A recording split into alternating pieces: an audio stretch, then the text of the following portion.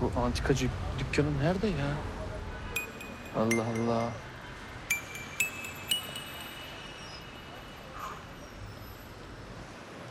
Ya bir şey soracağım pardon kusura bakma kardeşim. Burada bir antikacı dükkanı falan varmış. Nerede o biliyor musun? Salih Baba'nın dükkanı. Evet. Gelmişsiniz zaten. Şu köşeyi dönün. 100 metre yürüyün. İlk sola dönün. 200-250 metre kadar daha yürüyün. Oradan ilk sağa dönün. Biraz daha ilerleyin göreceksiniz. Hay baba canına rahmet sağ ol ya. Gelmişim. İyi ki gelmişim ha. Ne diyor bu ya? Bir de gelmesem ne olacak? Üç kilometre yol söyledi. Neydi bu? 300 metre gidiyorum. 250 sağ mı dönüyordunuz? Neydi bu ya?